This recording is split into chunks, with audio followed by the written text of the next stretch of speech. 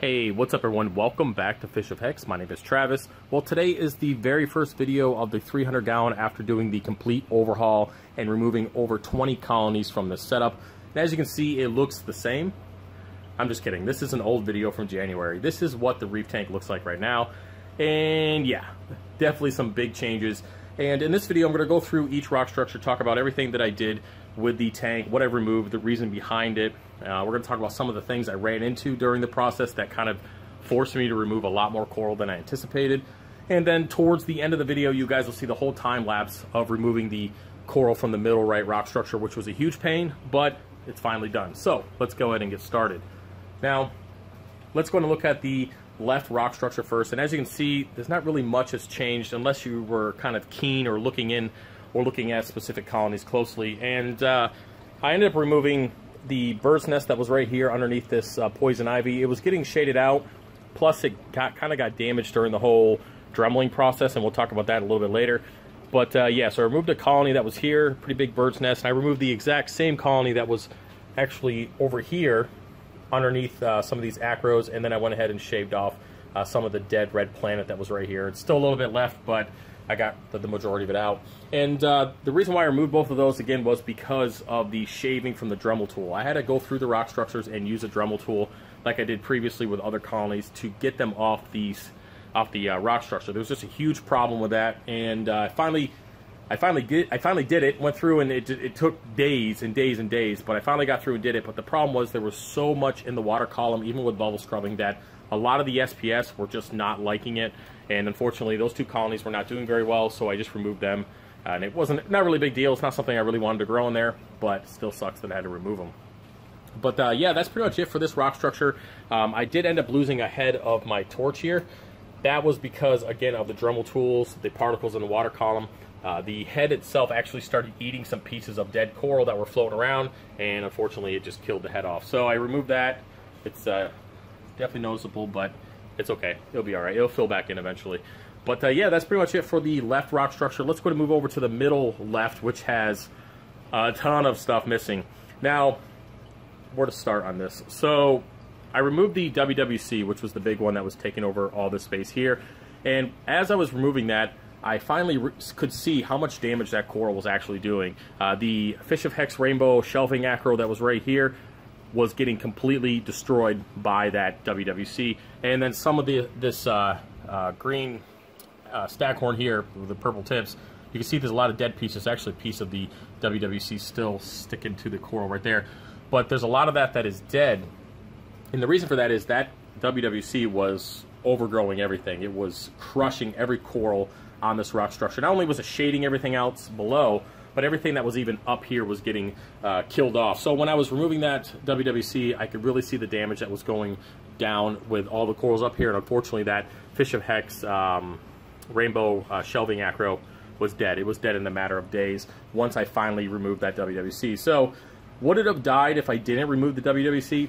Eventually, yes. So I just kind of sped up the process, unfortunately. And once it started STNing, slow tissue necrosis, it was it. It was done. It was done within a couple days. So, yeah, that's that kind of sucks. That was a big seller on the website, but unfortunately, that's just kind of nature does its thing. And uh, you can see here that there's a lot of this uh, Montipora that's missing. You see these blank spots. That's where I went in there with the Dremel and actually uh, did a lot of buzzing because it's growing up over onto this uh, uh, Crown of Glory. It was growing up onto, and a lot of that coral is dying or going or dead pretty much because of that. So I will have to go in there later and finish dremeling that, but I just I had too much going on with the tank, and I I just I could only uh, dremel so much without causing too much stress. So removed what I could. I will have to get in there and finish that off, and I will also have to keep up on that because it's never all going to go away. And that's something that I learned is putting encrusting Montipora on a rock structure where you have Acropora, bad idea. Never will do that again. And with this tank, I learned a lot of lessons on coral placement, I'll tell you that, and uh, I will not be making those mistakes again. So, yeah, it just sucks that I had to learn hard way, but that's pretty much how this hobby is, as you guys know. But anyway, I replaced a lot of coral on this rock structure. Uh, we got some uh, Orange Passion, WW, uh, sorry, Orange Passion, um, Walt Disney. Um, I'll have to get you guys the names of the rest of these. I have, I have them on my desk over there, but I'm not walking over and grabbing a piece of paper. Uh, they're all higher end acros and they're kind of their placement is based on how they grow. We got some shelving acros that are going to shelve over instead of over colonies. So they're going to be able to kind of work their way out, so I don't have to worry about it uh, causing issues with shading. And then, uh, yeah, well, so we'll see. They're all frags. They're all biddies. See over here, we just have little biddies, and they'll turn into something eventually. And uh, yeah, so I did actually end up replacing some of the WWC here, put a little bit in the bottom. You can see the yellow tips are just starting to come in, and uh, that's something it did not have when it was way up here. And this guy's about to come out of the water too. So overall, this rock structure took a really big hit, not as much as the one to the uh, right-hand side, but overall, I removed a lot of coral from this rock structure. So we'll see what it turns into. Um, we got a lot of new acros that you probably didn't notice. They're all on there, and we'll kind of see what it turns into here in the future. So moving over to the middle right rock structure, this one was a huge pain. Um, yeah, where to start? So from the top here, my appleberry, I had a huge, huge colony of this guy. Snapped that off when I was breaking off the Stylophora. And speaking of the Stylophora, that used to be all right here. You guys couldn't even see the $500 F-Flow. This is the first time you guys have seen it pretty much ever. Um, that that colony is starting to actually grow really well now that it's getting some space and it's not touching the Stylophora anymore. But yeah, the stylo was a huge pain. The uh, the skeletal structure was I don't know like this thick. It was disgustingly huge, and uh, I couldn't get it with bone cutters. You guys will see in the video that I did as much as I could, and I had to go in there with a Dremel. Took me two days alone to knock out that one colony with a Dremel tool. Um, I ended up breaking off the bottom of this rock structure and I had to put another piece of uh, rubble in between and super glue it to kind of hold it. It's not completely broken off, but it's really loose. You guys will see that in the video. So I put a piece of rock there to kind of bridge the gap to give it a little bit more stability.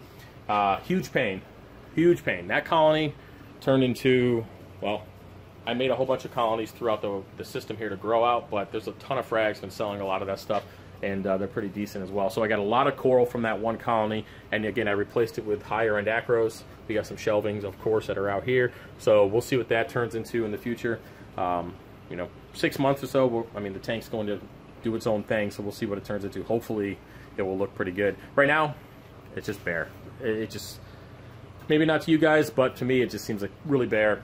Not, uh, not liking it at all. But, uh, so this rock structure actually had a lot of coral on it that I didn't know that were a problem. So this, um, the heck is it? Uh, shit, pink lemonade. This is that's what this is here.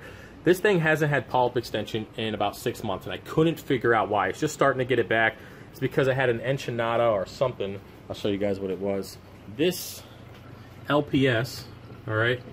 This guy, well, I forgot it was even here. I had it on the middle of the rock structure, and the sweeper tentacles were actually touching the base of that um, pink lemonade and it just never opened up. It was completely stressed out, wasn't growing, wasn't doing anything. Since I removed it just a few weeks ago, I'm starting to get new growth, better polyp extension, so that coral will hopefully come back. But I didn't even realize that that, that, that enchinada, I believe that's what it is, was even there for the in the, for one, and then it was taking out all the corals through here, was killing off the uh, Setosa, which I removed as well, some green digitata that was getting hit by it, removed that, some red digi. I mean, there was a ton of stuff that was getting destroyed by it, so I went in there with the bone cutters, got out what I could, and then went through with the Dremel tool and got the rest out. Um, huge mess. I, mean, you don't even realize what you have in the tank until you start digging in and really looking in there. Like I have a bunch, whole bunch of media shower growing up the whole side of this. Don't even didn't even know it was there. Same thing over here, a whole bunch of media shower.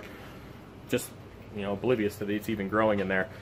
But uh, yeah, so that's pretty much it for the middle right rock structure. It sucked. The whole process was awful. Uh, the tank, ugh, it just didn't like it. It was it was a huge pain. I would not do it again. Um, I mean, I would if I had to, but I, no, it was awful. Uh, moving over to the last rock structure here, the right one, I removed the uh, sea fan that used to be here, replaced it with the uh, Pinky and the Bear. Um, that was pretty much it for the only acro. Uh, that's about it. I trimmed up some other stuff. Um, put a Lovelli through here, I fragged that from my other system, and just did some general trimming. The uh, Wolverine's coming in now that it's getting some light with the Cali Tort. There's finally some room. Cutting back a whole bunch of this Gorgonian, selling a lot of that stuff, so I'm glad you guys are purchasing it. I can cut it back, make some more room. But uh, yeah, what a huge pain. System overall is doing pretty good. Uh, for the first couple weeks, it was not happy. Um, major fluctuations in alkalinity, of course, nutrients. Um, I went through and did water changes, removed a lot of the detritus. This is what's kind of left. Um, and I guess we could talk about that and flow and everything. Uh, just was not happy for the longest time. I actually went through and traded some coral for some Jebao powerheads. Not quite sure what they are. Uh, they're oh something, OW something. I'm pretty sure. Uh, didn't really uh, cost me anything. I just traded some coral for them. They were slightly used. The guy went to something else. So I was like, hey, I'll take them just for the sake of taking them. Um, I would not buy them new. You guys know that I'm not the biggest fan of Jebao Powerheads, but I figured, hey, uh, they're practically free. Might as well give them a shot and see what they do. And I moved the Nero 5 to the back wall over here and a Nero 5 over here. Took the other two, moved them throughout other systems in the fish room, which you guys see here, here in a minute. But uh, yeah, I uh, trying the Powerheads, see if I like them. Um, they are adding additional flow that's about uh, what, 5, 10, 15, 20, 25, 30, 35, 40, about 40,000 plus uh, gallons per hour in the system. They're all on random flow or reef crest te technically, and they're all doing their own thing. So it's pretty good. Get a little bit better polyp extension with the additional flow. And uh, yeah, I'm going to be trying out some new power heads here in the future just because I know that the Jebaos are probably going to take a shit. So I'm going to have to try something else. So we'll see. Uh, Nero 5s are good. They're just not good enough for a tank this size. They do work, but they're just not enough flow for what I'm looking for, at least not for my particular system. But uh, yeah, so when it comes to the rest of the tanks, I guess we can look at everything here. The 40 gallon, doing pretty good as you guys can see. It's definitely some growth. Uh, this is one of my main cutting tanks now. I, I know I said I was going to let it grow out, but you know I say a lot of things and I do other stuff. That's story of my life. I've actually been cutting a lot of coral from this tank to keep up with the uh, cut to order stuff. Um, cut back a lot of this green digitata, and I'm finally getting some color back on my. Um, oh boy, I don't remember the heck of it. It's the one I just removed from the tank over there. Forgive me. But um, it, will probably come to me while I'm talking about other stuff. So if I ble blurt out a, a random name, you guys know I'm get get him to. Um, but yeah, this is one of my main cutting tanks. I got a lot of LPS down here that are growing out. A lot of these acros are doing very well, plus the SPS. Ton of uh, red monty in here, as you guys can see. Or orange to you, but it's definitely red uh, to me. The uh, the tank's doing pretty good. I like it, and uh, yeah, that's pretty much to say about that. Of course, we have the Healing and WYSIWYG tank. A lot of coralline algae growing in here. It's doing pretty good. Quite a few uh, frags healing. Got to get around to cutting some more, that's for sure. The other grow out tank here, we have a lot of red Monty left. Of course, all the other SPS that I removed from the 300, doing pretty good. And then we have our Acropora grow out and our cut to order frag racks. So these are all corals that are cut to order that are healing. They'll be going out later this week or next week. And then um, I got a couple more racks I got to start filling. I got some more orders that came in, so I got to take care of those today. But uh, yeah, this tank is doing pretty good. One of the best tanks I have, even though they're all connected. This is the only one I have no problems, have no algae issues, no dino issues, no no no nothing. Perfectly fine. Always looks good. Always works good. And uh, yeah, I just wish all of them were like that. This tank, on the other hand, gets dino every once in a while. Not sure why. It hasn't popped up in a little bit, but this is the only tank that ever gets dino for whatever reason. And uh, this one is the disaster that it is now. But the other two seem to be fine. No dino, no other problems. But uh, yeah, so that is the update on the 300 gallon. And uh, I know I rambled for a while. What are we, like 13, 14 minutes in on this part? But uh, yeah, it's, it, it is what it is. I, I, guess I can leave it at that. It is what it is. It's uh, definitely a big change. And the reason why I did it was because I needed more room. I needed to put corals in the tank that I really liked. I wanted just Acropora, even though there is a couple easy SPS in here. I just needed needed it to look and be something else, and that's kind of how we progress in the hobby. Plus, Big Bertha here, she loves it. She had a ton of swimming room, and uh, yeah, a, there was definitely some tang aggression when I started removing the colonies. A little bit of territorial issues between Big Blue here and uh, Zay the uh, sailfin. But uh, yeah, that was about it. A little bit of aggression. Big Bertha's got more swimming room, and um, She's still making me frags every day, though. It is what it is.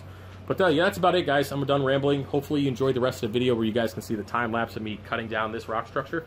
And uh, that's about it. I'll see you guys later. Peace.